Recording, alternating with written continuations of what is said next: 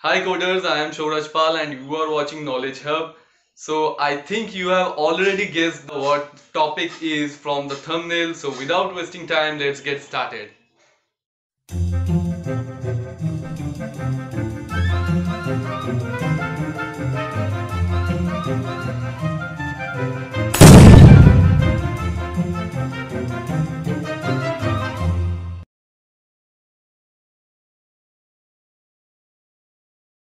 So today we are going to study about the operators in C. So let's get started. Firstly, we are going to face some classifications of operators. There are basic classifications like unary operator, binary operators and ternary operators. In case of unary operators, there are two operations. One is double plus and second is double minus. And in case of binary operations, there are many types of operations. We will discuss those later. And in case of ternary operator, there is question mark along with the colons. And now we are going to see there are many several classifications in between the binary operations. So as you can see in the right side of your screen, in the first case of the binary operators, there is arithmetic operators, then the relational operators, then the logical operators, and then the bitwise operators. And at the last, there is assignment operators. So now eventually we are going to learn about each of these operators slowly. So first we need to discuss about each type of operators. So first I have here the arithmetic operator which says these are used to perform the mathematical calculations like addition, subtraction, multiplication, division and modulus etc. And then in the second one is the assignment operator. The assignment operator says uh, these are used to assign the value of the variable in C programs. So what does it do? It actually assign the value of a variable in it. And then third one is relational operator relation operator what it does uh, these operators are used to compare the value of two variables. So it compares the value among two variables. Then after that we are having logical operators. What the logical operators do? These operators are used to perform the logical operations on the given two numbers or the two variables. What they does they logically operates between two variables. They do their logical operations in between two variables. That could be and not nor XOR or or. So we will discuss that later. Then up next is the bitwise operators. Here the bitwise operators are used to perform bit operations on given two variable it does the bitwise operations. It can shift the value of the bitwise variable by 1, 2 or 3 as many numbers as you wish. So we will see that later. Then the conditional or ternary operator. It is really so important. Conditional or ternary operators are important. Conditional operators return one value if the condition is true and returns another value if the condition is false. So it is a type of if else structure in between one line. So it is very useful for doing codes in shorter manner in if you want to do code and uh, and you have less number of lines you have to use the less number of lines then conditional or ternary operator is very useful for that then we are coming towards the increment decrement operator and the special operator. Increment decrement operator is unary operator. Double plus and double minus are the increment and decrement operators respectively. And the last one is the special operator. The special operator is Armstrong and star and size of. So Armstrong what it does the and and symbol what it does it actually signifies the address of the variable. It denotes the address of the variable and the star star denotes the pointer variables in C. And size of size of defines the size of any type of variable is uh, defined by size of. You can get the size of any variable any uh, array or string by this size of function. So now we are heading towards arithmetic operators. So what is the arithmetic operator? I have told you earlier it is used for the mathematical purposes plus minus multiplication division and modulus is the arithmetic operators. Then we just now going to see some examples of arithmetic operator. As you know how it works it is just simple math plus minus multiplication division and modulus as you can see the results and the explanations here. Now we are coming towards the assignment operator. Assignment operator is nothing but the equals to symbol. What it does it actually assign the value into the variables. So in the first case we are coming to see that c equals to 2 in c equals to 2 what it means? It means integer variable c is containing the value 2 and uh, and here the equals to symbol signifies that the number 2 is given to the variable c. So in this way d equals to 3 e equals to 4 f equals to 6 and g equals to 8 are saying that 6 and g contains 8 then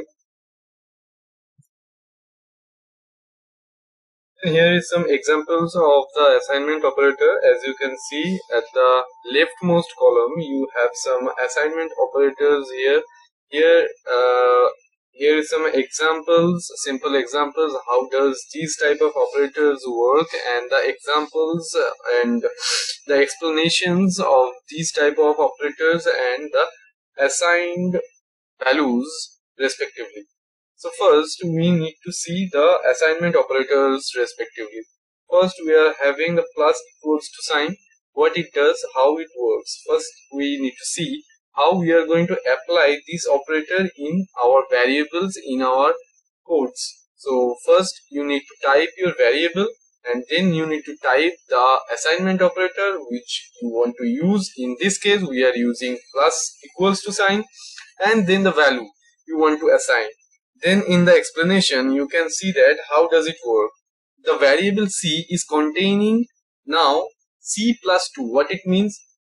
Let's say previously the value of c is 2. Okay. Then after doing this line, it will be 2 plus 2, 4. And if this is executed once more, then it will be 4 plus 2. And as you can see, here is assigned 4 value is assigned to C. And in this way, we can see that minus equals to and multiply equals to and the division equals to and mod equals to is the assignment operators respectively. And we can see the examples for that d minus equals to 1 and how can we explain that d equals to d minus 1 and e multiply equals to 2 which means e equals to e into 2 which means 8 is uh, given to the variable e. So in this way you can see division equals to and modulus equals to how it works. So I am going forward. So okay here are some more examples and some more explanations you should note down in your notebook. Now we are here with the relation operators. Relational operators are used to compare two variables depending on their relations. And for an example, for comparing the price of two things, the variable of a relational operator is either 1 or 0. Actually, it returns 1 or 0. If the relation is true, then it is going to offer 1 and if it is false, it will give the result 0. So, for an example, if x greater than y, then greater than is a relational operator and it will return 1 if x greater than y, else it will give 0. And we have a table here. In left side, we have the expressions and in the right side, we have the respective explanations. So, firstly, we are having x equals to equals to y which means x is equals to y. It denotes if if the value of x and y are similar then it is going to return 1 or it will it will return 0 then after that the second thing is x not equals to y. How it is expressed? X exclamation sign and equals to y so it means x is not equals to y. So it will give 1 if x value and the value in y are not similar. If they are similar it will give 0 and then we are coming towards the x less than y. So you know I don't need to explain everything. So it will give 1 if the value of x is less than y.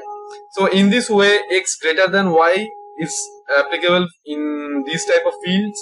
And after that we are having x less than equals to y. What it means? It means x is less than or equal to y.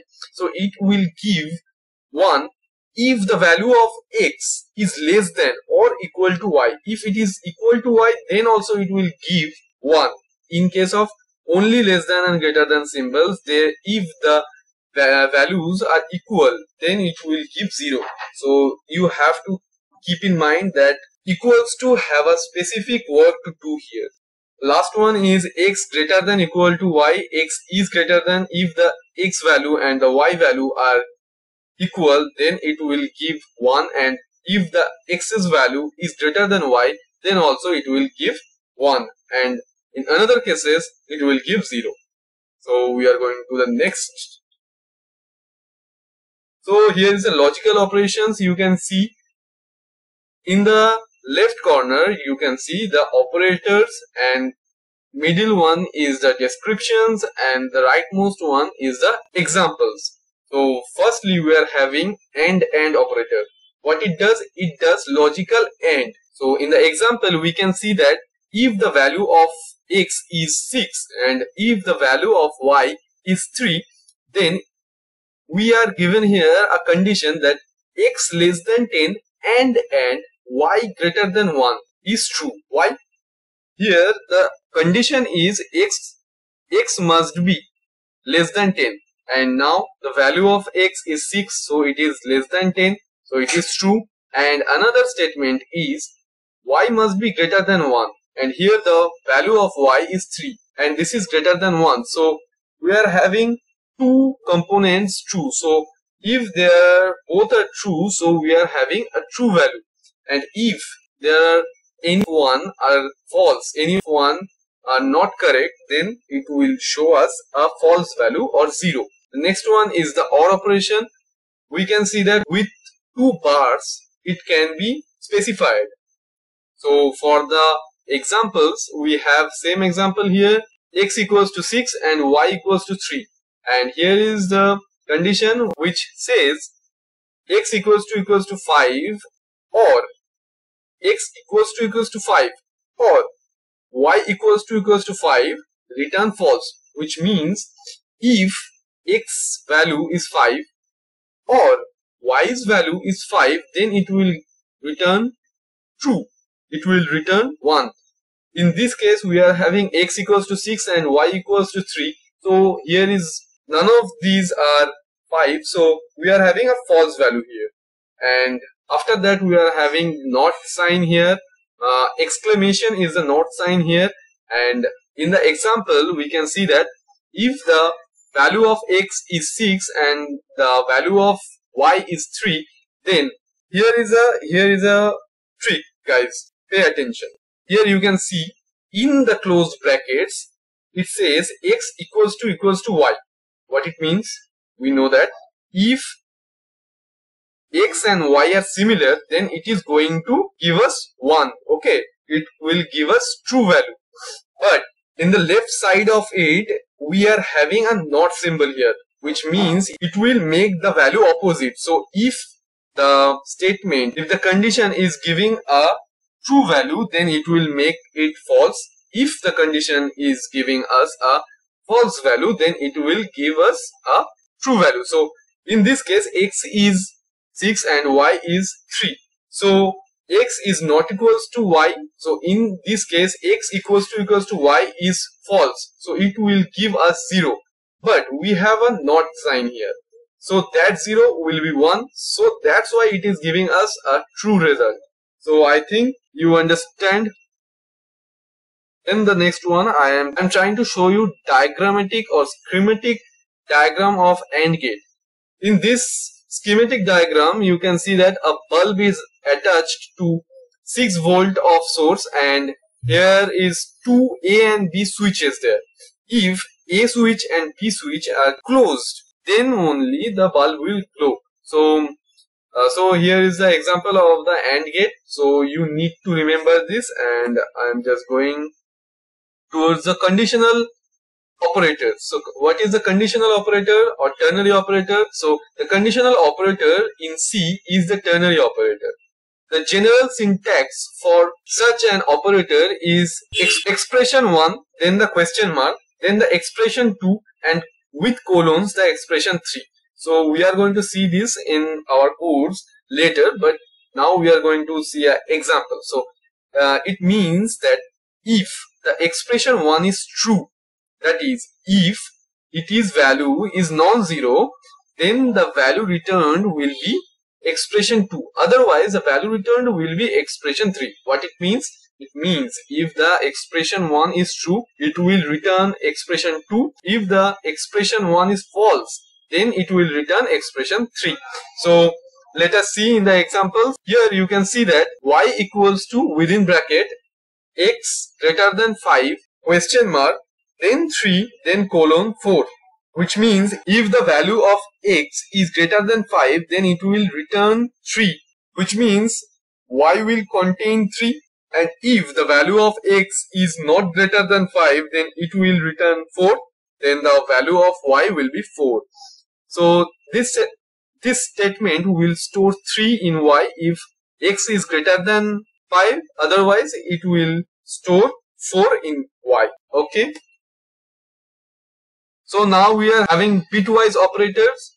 So for bitwise operators, we have AND, we have OR, we have XOR, we have shift left and shift right and bitwise complement operators. Bitwise operators operates on each bit of the data. So let me explain.